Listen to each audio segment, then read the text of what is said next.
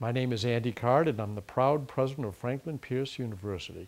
I'm hoping that a coffee shop in the heart of the campus, right on the top of the hill, will be a place where you can kind of relax and hang out uh, or get a cup of coffee to go and take it back to your dorm room or someplace else to study. I think having a coffee shop on campus will bring more students to Franklin Pierce. And the challenges when we were trying to negotiate with first Dunkin' Donuts and then Starbucks and see what other options we might have.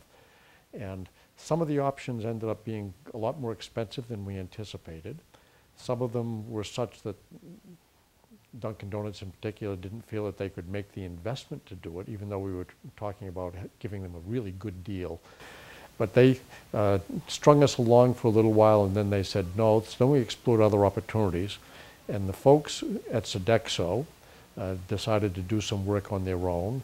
They came in and have done a real good job. They've suggested it should be in the space where the International Students Program was, in the first floor of the library, kind of on the southwest, northwest side of that building. If, you can look, walk outside and see Mount Monadnock and the softball field, and you can see the dorms. I would like to see a coffee shop on campus just because it's a pain driving all the way down to Dunkin' Donuts for a beverage. Um, it'd be more convenient for us students. It's going to be funded, hopefully, by the people that will make money by selling coffee and donuts and whatever else they might sell there.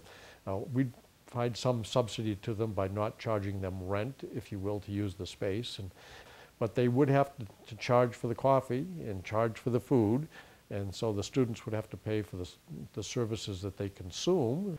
We thought it would be centrally located, that it would be convenient to the library so that students could use the library and go to the coffee shop and vice, vice versa. We want to kind of relax the rules in the library to let a little more food in the library. So there would be a good place to come and study and do homework and be serious about success. I do want a coffee shop on campus because I don't want to have to waste gas every day going down to Dunkin' Donuts. I wanted to make sure the coffee shop would stay open late at night. And my goal was to have it stay open until 10.30 at night, something like that. And I know the first time I talked with the folks at Sodexo, they were thinking, oh, we'll, turn, we'll shut it down at 6, uh, 6.30, 7 o'clock at night, 7.30. And I said, no, I'd rather have it be open and warm and inviting. For, I hope that if we do get a coffee shop, that it will be something that people will use and make recommendations if things should be better or if we should change what it looks like or how it's functioning. I'd like the cost to be pretty modest, so I'm not looking to spend a lot of money to do it. But I would like this to be something that is truly student-centric and celebrate what it means to be at peer. So it's not about me and it's not about the staff, it's not about the faculty, it's about the students.